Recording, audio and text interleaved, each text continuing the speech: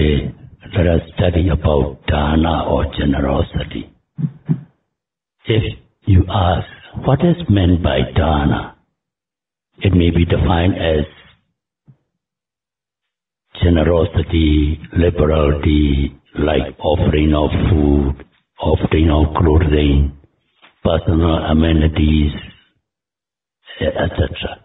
to needy persons, to persons who are worthy of honor like our parents, elders, relatives, or bhikkhus, etc. But as in any other good or bad action, so also in offering gifts, it is the noble intention and the volition that really counts as the action, not the mere outward deed. And Pali we call Chetana. That meritorious deeds are the most dependable refuge for the welfare of their lives throughout the samsara. As you all know, the samsara, is the cycle of existences. So it is customary for them to do meritorious deeds such as dana or generosity, sila or morality, bhavana or meditation to their utmost. Now, you may want to know the results and benefits of the meritorious deeds like dana or generosity.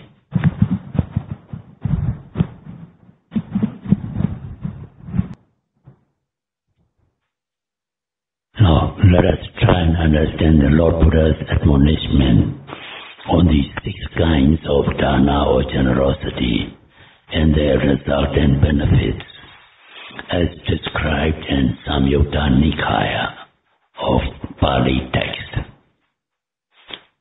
Once upon a time, while our Lord Buddha was residing at the Savatthi, Jetavana monastery, one Deva Deva is celestial being. He approached our Lord Buddha at midnight. He most humbly paid obeisance and inquired. One, he said, what to offer so that it may amount to offering of vitality and strength. Two, what to offer so that it may amount to offering of pleasant appearances. Deva said, what to offer so that it may amount to offering of happiness and comfort. Four, what to offer so that it may amount to offering of the eyes, meaning visual capacity. And five, what to offer so that it may amount to offering of all the four gifts. The Lord Buddha, our enlightened one, replied thus. O Deva, one, offering of food amounts to offering of vitality and strength. Two, offering of clothing and robes amounts to offering of pleasant appearances. And three, offering of vehicles and conveyance amounts to offering of happiness and comfort. Then number four, offering of light as of candles, lamps, electrical energy, etc. It amounts to offering of eyes, that is visual capacity. Then number five, offering of dwellings, lodgings, rest houses and monastic buildings amounts to offering of all the four gifts. Offering of Dharma by preaching, admonishing, or distributing and propagating scriptures, doctrinal books, etc., amounts to offering of Nibbana bliss, deliverance from all sufferings. These are the six kinds of dana or generosity, and the six corresponding resultant benefits explained the Lord Buddha. Now let us try and understand one by one in more detail. The first one, food dana or food generosity. Even if a person is healthy and energetic, when one is deprived of his daily normal food intake, one gradually becomes weak and lethargic. But when one's nutrition is replenished, one becomes hale and hearty again. So, food dana amounts to offering of vitality and strength. Though a person may have good looks, if one's clothing or dresses are dirty, worn out and ragged, one's appearance will not be very presentable. But when one is adorned with neat and tidy dress, one's appearance has become pleasant and amiable. So offering of clothing or robes, etc., amounts to offering of pleasant appearances. The number three, offering of vehicles and conveyances, etc. Offering of vehicles, conveyances, and various means of traveling and communications like motor cars, railways, boats, steamers, aeroplanes, slippers, shoes, umbrellas, etc. and contribution or maintenance of roads, bridges, etc. All best out the travelers to reach their destinations with comfort, ease and security. Thus, offering of vehicles and conveyances amounts to offering of comfort and happiness. The number four, offering of light. Though a person's eyesight may be good, if there is no light, it will not be possible for one to move about properly in one's daily routine. That is how offering of light amounts to offering of the eyes. Then offering of dwellings, etc.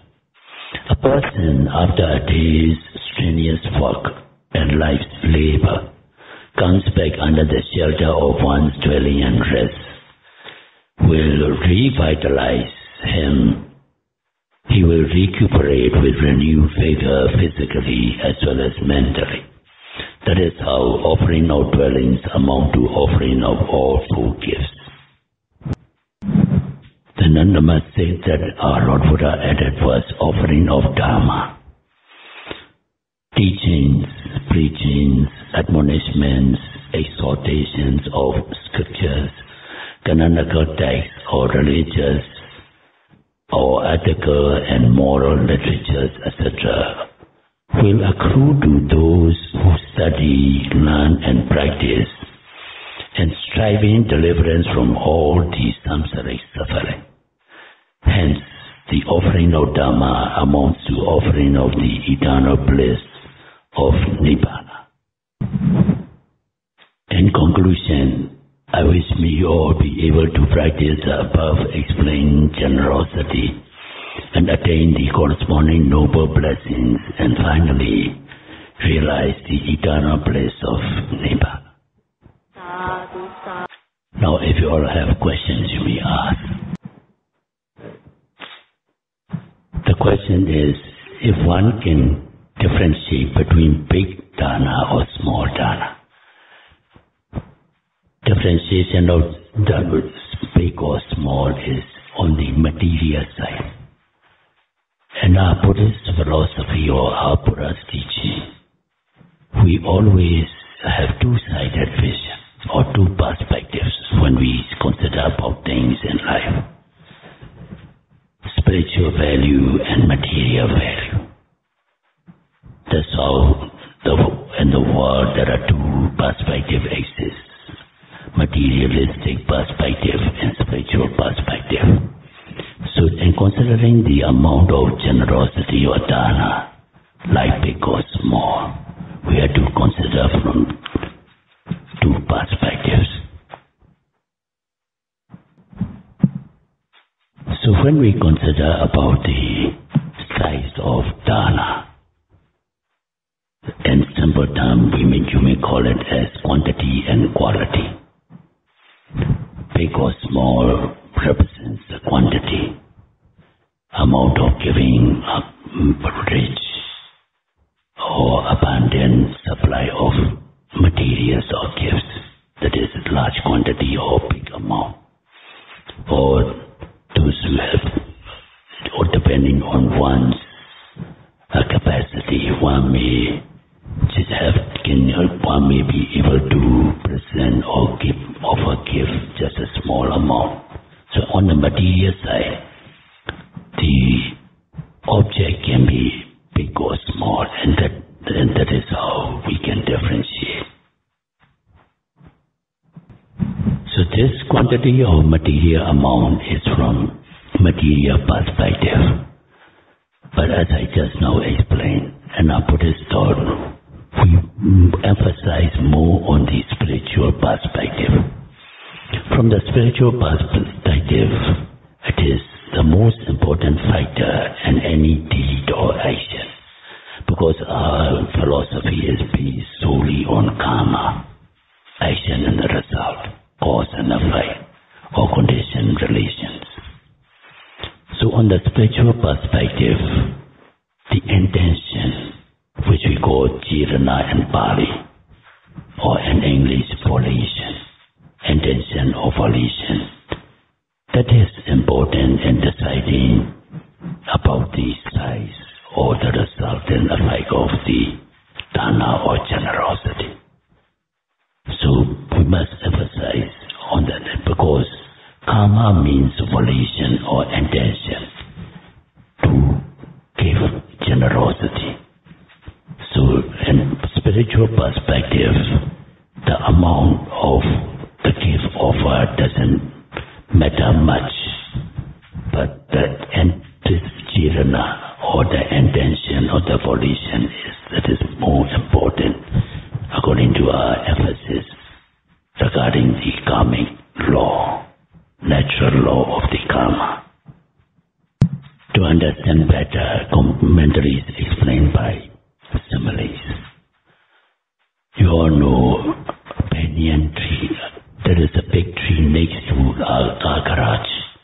This the tree is very big, but its seeds or the fruit it bears is very small.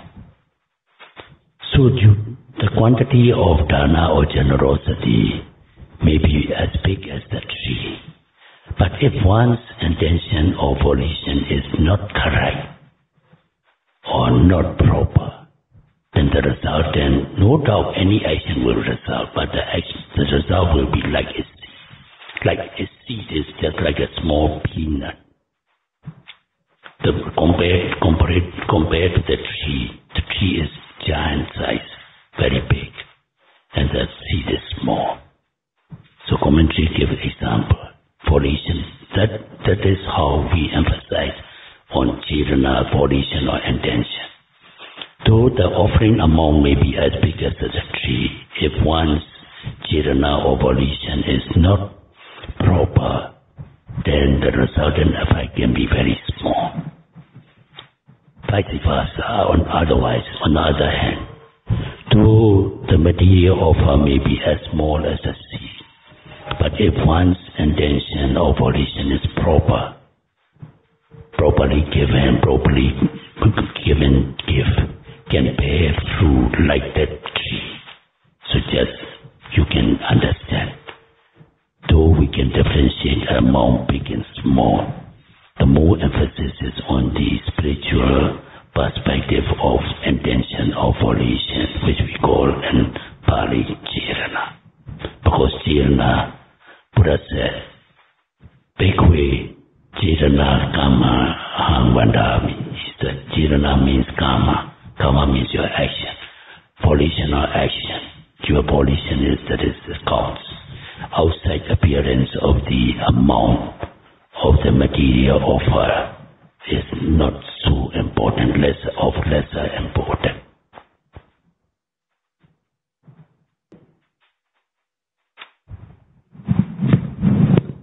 So after understanding this much, let us study Sapurisa Dana so that we know how to offer properly to be more fruitful.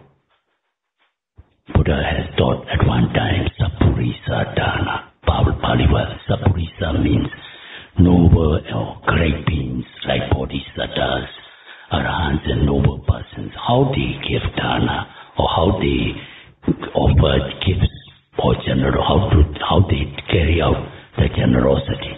So if we understand, if we let us study and to understand it so that we, whenever we do dana or generosity, we can do it properly. The first feature of Sapurisa Dana or the generosity or offering by noble persons is one, saddha. They usually develop, they offer uh, gifts with true saddha, true, lofty, very noble, with noble saddha. Out of good faith, out of good conviction, by truly understanding the action, they offer it. That is why this one of the the first feature of Sapurisa Sadhana or the generosity offered by these noble or great persons is called Saddha Dana. Saddha means confession of faith. Confession of faith is not just a blind faith. The faith that is born out of understanding with wisdom. They, they usually give that way. Because when they give, they always reflect in their mind. They understand the law of karma, action and result, good deeds. Good begets good, bad begets bad. Good deeds will bear good fruit, bad deeds will bear bad fruit. They understand that. And when they offer to their parents or teachers, they, they always think of their good qualities, noble qualities of parents, teachers, or persons, and they give that way. So the first feature of Sapurisa Dana is Dana. So whenever we do dana or generosity, we must reflect or we must carry with true saddha or faith or conviction. So saddha is the first feature and it is very important. It's the basic of this Sapurisa Dana. So what we must have faith in, we must have faith in true Buddha. True Buddha, as you all know, has nine infinite virtues, but he himself has formulated for easy memorizing and understanding into nine Kadayana virtues that we recite every day. Itipiso Bhagava Arahan Samma Sambuddho Vaja Charana Sambano Sugato Loka Vidu Anuttaro Purisa Dhamma Sarathi Satha Deva Manusanam Buddho Bhagava so you have confidence in Buddha, not just a blind faith. True Buddhas have infinite virtues which can be formalized or sum, summarized into nine Kadayana virtues. With that, you have confidence in Buddha. And you must have true faith in the Dharma. Dharma six Kadayana, two has infinite virtues. It is concisely formulated into six Kadayana one. Sakado Bhagavata Dhammo Sandetiko Abba Griko. So also the Sangha. Sangha has two infinite virtues and Buddha himself formalized into nine Kadayana virtues for the Sangha beginning with Supatipano Bhagavato Savaka Sangha. So having true faith or compassion with this understanding of virtues and attributes. That is having faith or saddha and Buddha Dhamma Sangha. And another faith we need to develop is Kama Sagata Samadhi. Having correct view or having faith and action and the result of Kama and Vipaka. So if you have true faith in this Kama, Sagata, Samadhi, and the Kama and action, karma and Vipaka or action and the result. That's why when we aspire for Nibbana, we have to perfect ourselves in ten ways. And the first perfection we or parameters we have to develop is this dana or generosity. So whenever you do any kind of offering, always aspire to gain Nibbana, deliverance from all suffering. The corresponding material results whether you want it or not, you gain due to the law of karma or your action. You have to either have bad or good consequences according to your volition or intention. But any good action, we must aspire to gain Nibbana because this is the only way to gain the true deliverance from this samsaric suffering. So if you do generosity or offering of gifts with true faith means having faith in the true Buddha, true Dhamma, true Sangha, and believing in karma, and you aspire for Nibbana. That is what, that is how these great beings, like bodhisattvas and noble persons, they do generosity. So always do it with true faith or saddha. Then the second feature of Sappurisa Dana, or the noble way of offering gifts or generosity, is Sakkacca Dana. Sakkacca. Sakkacca means reverence, respect. So when you do generosity or when you offer something to somebody, always do it with respect and reverence. Respectfully and reverence.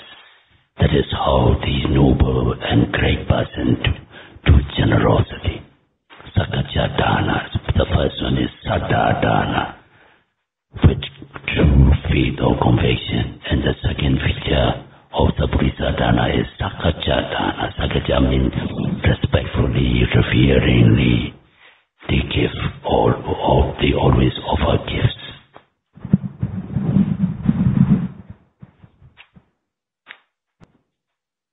Because when we have some uh, knowledge about something, we tend to become conceited. And we try to criticize the recipients of these gifts and one tend to become arrogant. Not though they offer, they don't offer it with respectfully. Like if a beggar come to the house, they just throw the coin and get out, get out. So there is no sakkaccadana. The Bodhisattvas, the great beings, they never do that. Our Lord Buddha Gautama, at one time, his name was Velama and Velama Sutta. Velama is a Brahmana, high class, as you all know, in India, during olden days, even now, they still have caste system. And the higher castes are very arrogant and self-conceited. But Bodhisattva at one time as a Velama, he's a billionaire. And when he intended to renounce the world, he invited by announcing anybody who is in need of anything to come and claim from him. And he offered it.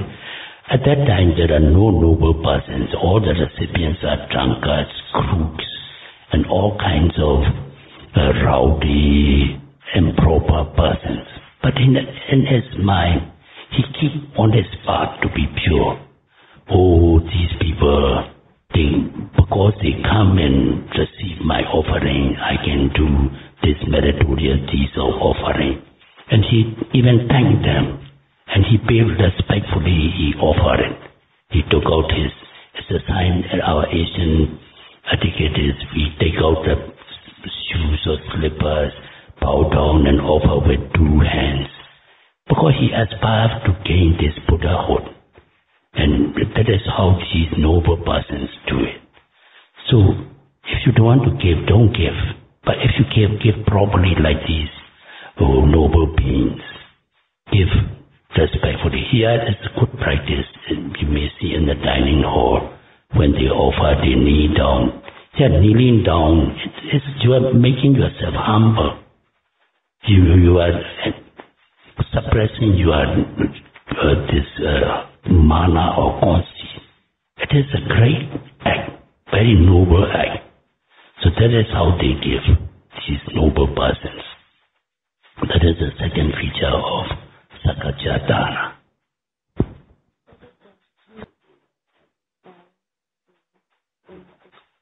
Then the third feature of this Sapurisa Dana or the noble way of offering gifts is Kala Dana. Pali kala means timely, time. Periodic or time. Timely gifts. Timely gifts means when the need arises. Try to offer whatever one can.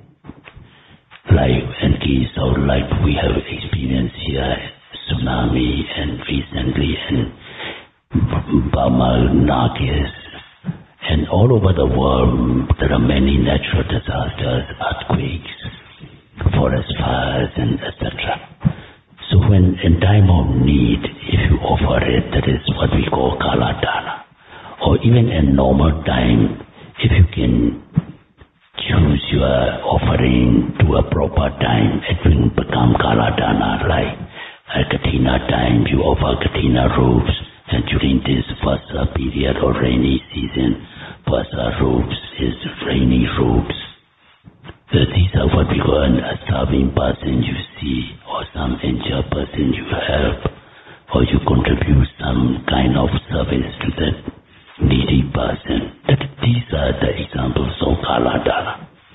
So these great beings, like bodhisattvas and noble persons, they always give at the proper time and in time of need.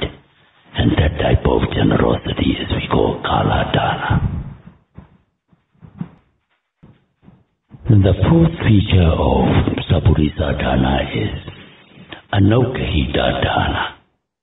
Pariva Anokhita means without any attachment.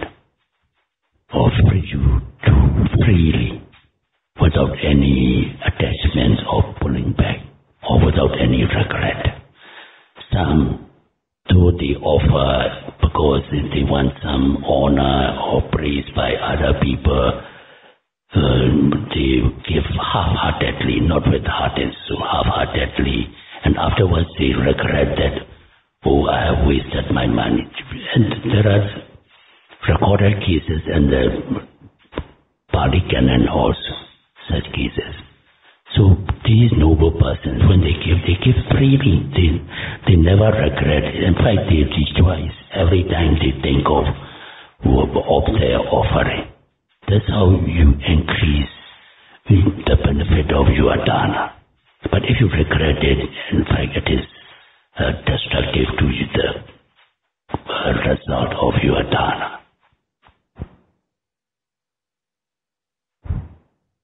Just to understand this, Anokhita dana, the feature of Anokhita. During Buddha's time, there is a billionaire by the name of Aputtaka. Aputtaka means he's no, he has got no children. He didn't get married and he don't have children, but he's a billionaire. He inherited from his parents. And though a billionaire with rich, with riches and wealth, he has got no intention or no mind to enjoy his own wealth. He just use very cheap food, cheap clothing, cheap conveyance. Because at one time, in his past, one past existence, after offering food to the Pacceka Buddha, Pacceka Buddha is, as I have often explained, independently enlightened Buddha. So the recipient is very noble, and his dana bears fruit, and he becomes rich. But due to this lacking of this Anokhita dana, he cannot enjoy his wealth.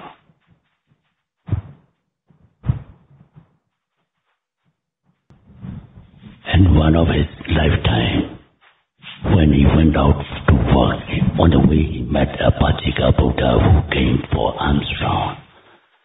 And he asked the Pacceka Buddha, Venerable Sir, have you got anything? The Pacceka Buddha said, I haven't got anything. Then he invited Pacceka Buddha to go to his house and have food. And he went to his work, and on his return, he met this the same Pacceka Buddha who has received from uh, his house this alms food. And he said, Bhante, have you received anything? Yes, I have received a food from your house. And when he asked the Pacceka Buddha to open the lid of the bowl, and when he see the nutritious and delicious food in the bowl. He regret his offer. Oh, what's the use of offering this man who will eat and sleep? If I were to feed this food to my workers, they can give a production many food. And that's how he regret after when he first intend to offer it's a good cetana, but he himself cancel his cetana by regretting the offer. And that's, that is why when Jew, he become a billionaire in our Buddha's lifetime, he has got no children, no relatives, he live alone with his wealth and riches, not enjoying his wealth. He live like a, a poor beggar, not willing or not having uh, the intention to eat or to sleep because of his, his regret. That is, that is what is meant anuggahita dana. So when you do generosity or dana, the noble persons or these great beings, they do it with complete freedom or with complete detachment. Because dana or generosity is just a mere act of giving away has very noble, busy, a very profound meaning because you are renouncing renunciation, you are practicing the paramitas of renouncing your possession. Everybody cherish one's own possession. And the fact that you can renounce is, is a noble act of uh, paramitas of perfection who aspire for Nibbana. So that is how these noble person to this and that this fourth feature is Anuggahita Dana. Then the fifth feature of Sapurisa Dana is Anupahacca Dana. Anupahacca Dana. Anupahacca means not harming oneself as well as others. These great beings or noble persons, when they give generosity or dana, they don't harm themselves or harm other persons.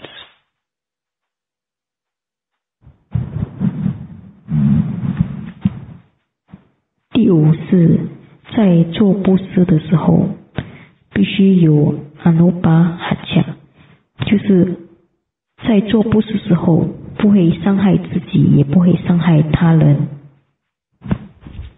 Then what is meant by harming yourself or harming others? Some people they give dana harming but to oneself. How? They give dana to inflate their ego that they, they can they want to show off so that to get the other person's attraction. They give big amounts of, because they can afford, they give big amounts and they feel conceited and their ego is inflated. Uh, that is the meaning that they give dana, no doubt it's a good deed, but they inflate their ego, and that is the bad deed. They're doing a mixture of good and bad deed. So that is how one gives dana or generosity by harming oneself. Then what is meant by doing or giving generosity by harming other people? Some people they give generosity and just now, as I said, they inflate their ego and they become conceited.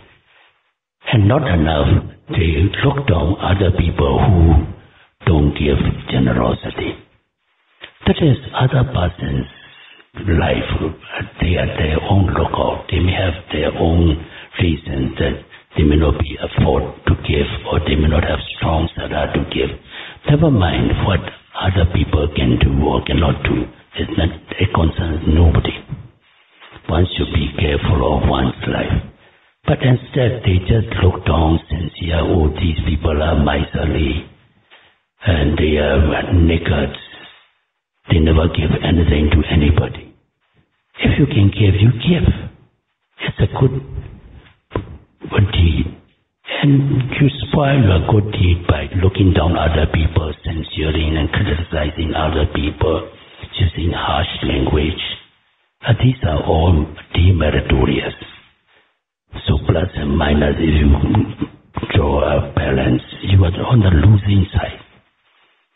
So noble person, they never uh, try to look down other people because they can give. They give freely without harming themselves or harming other people. And that is the feature of Anupahacca Dana.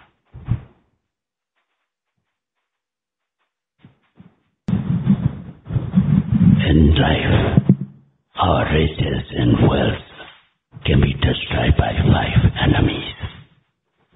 One is fire that we always see or heard in the news that some houses or some factories or some wells are destroyed by fire. And the second enemy is war due to floods, due to heavy rains, destruction of the property and wealth by war. Second enemy.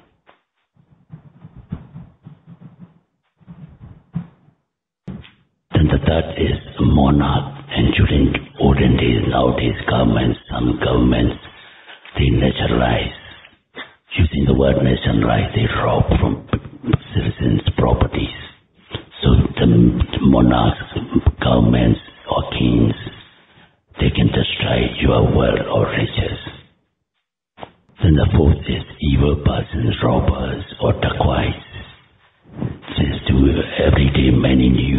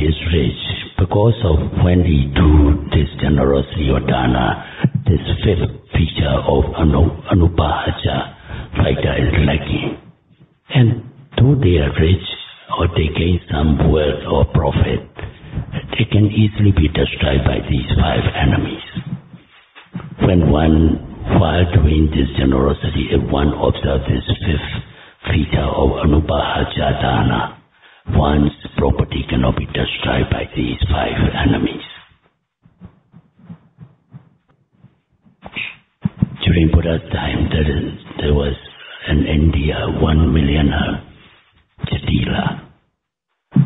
He later became Arahant. He renounced everything and he became Arahant.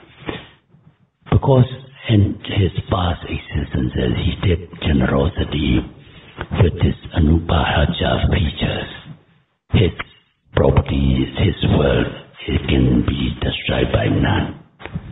At that time, he lived in Rajagaha. The monarch is King Bimbisara, and the son Ajatasattu, after killing his own father, he became the dynasty of the reign of Rajagaha.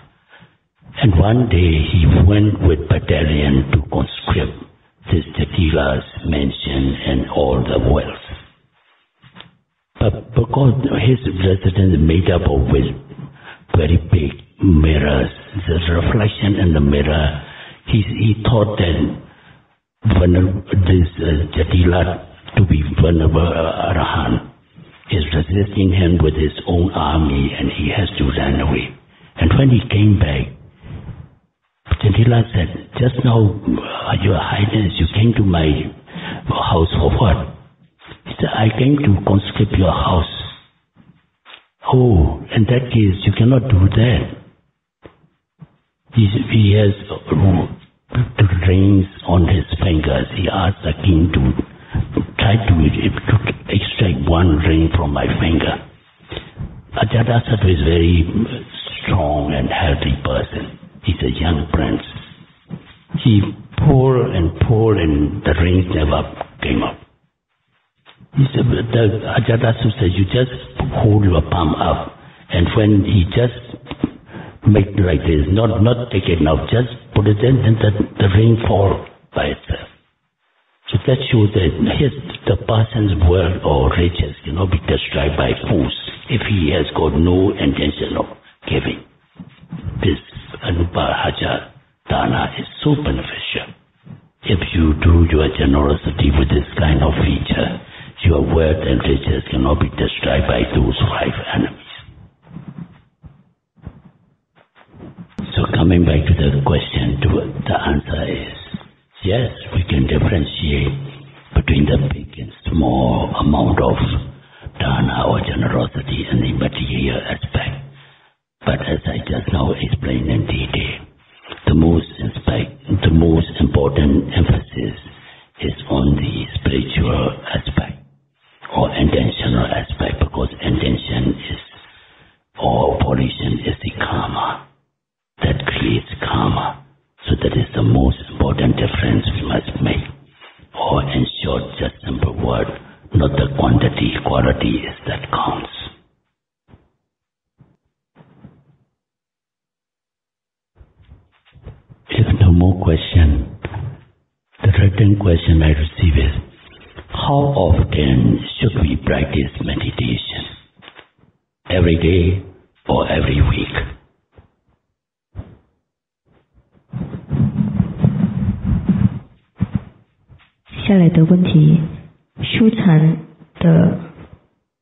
几时修禅呢？